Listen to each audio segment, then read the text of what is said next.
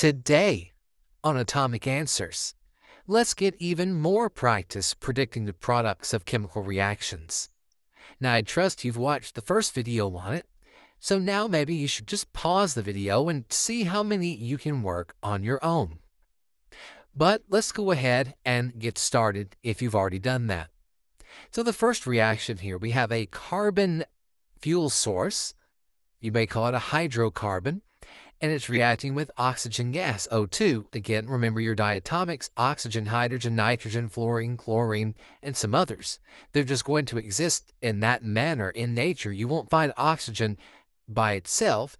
Um, it'll either be bonded to another oxygen atom, as you see here, to be diatomic oxygen gas, or, of course, some other potentially metal. But this is going to be a combustion reaction. Again, a combustion reaction is where you have a carbon uh, fuel source, a hydrocarbon fuel source, it reacts with oxygen gas. These are the easiest reactions in the world because a combustion reaction always produces carbon dioxide gas plus water. Now, I'm not balancing in these videos. We're going to have a, a separate set of videos on that. We're just predicting the products today. So for any combustion reaction, CO2, H2O, nothing else needed. Pretty easy. So now we've got a reaction where you've got two compounds as reactants. And so we can't just combine them together in a synthesis reaction because, I mean, HCl, CaCO, what in the world would that be?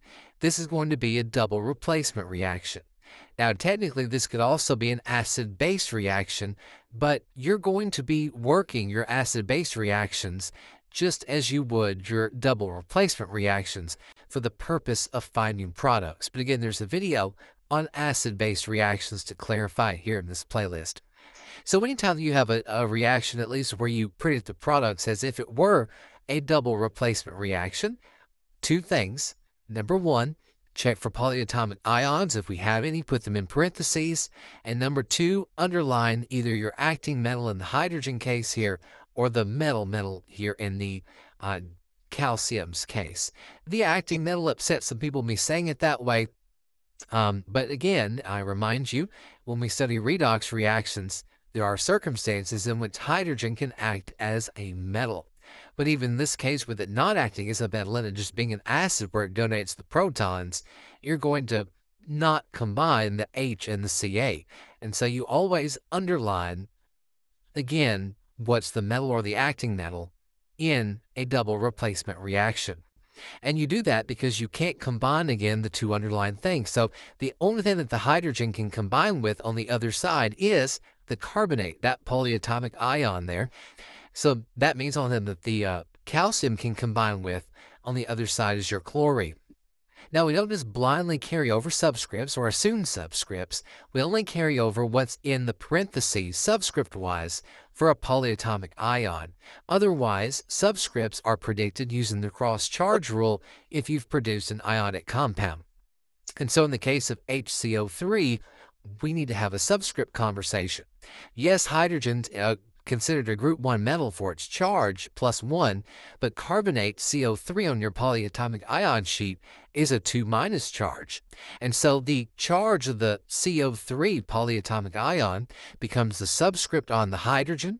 We cross it down as you see like that.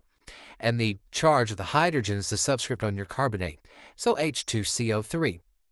And the same with the calcium chloride. Calcium is in group 2, so it has a 2 plus charge, Chlorine is in group 7 with a minus 1 charge. The formula is Ca1Cl2, so it produces H2CO3, hydrogen carbonate, and calcium chloride, CaCl2. Next is a pretty interesting reaction because we only have a single reactant. So the only thing that it can be is a decomposition reaction. Now, in my previous video, we had an example of a decomp reaction, but it said plus heat. So just realize it may not do that all the time. And again, there are multiple rules for decomp reactions. If you have a metal hydroxide, it decomposes into a metal oxide plus water. If you have a metal carbonate, it decomposes into a metal oxide and carbon dioxide gas. But we don't have either of those two here. We just have a metal oxide. And so in this situation, really, we're just going to split them apart where it's going to form your silver metal and your oxygen gas. But realize, again, oxygen gas exists diatomically. So don't just say plus O, it's O2. That would screw up your balancing. It would screw up any stoichiometry. So don't forget your diatomics. And finally, we've got a single reactant, potassium, and another reactant that's a compound.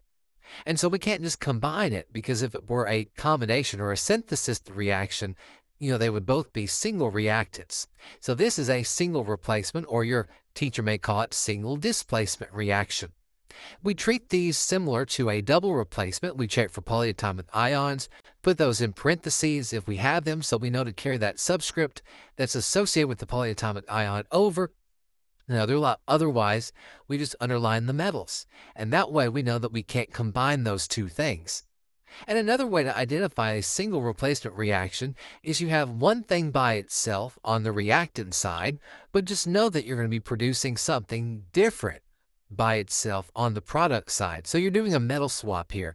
The, the magnesium is with the bromine, but now the potassium is going to be with it, and the magnesium kind of gets kicked to the curve, and now it's by itself. We produce an ionic product, though, so we have to check it for subscripts with the cross-charge rule. Potassium is in group 1, so it's got a plus 1 charge, and bromine is in group 7 with a minus 1 charge. That's why I didn't carry the 2 over. It doesn't need it We'll compensate for the two magne or for the two bromine atoms when we balance this in the next video.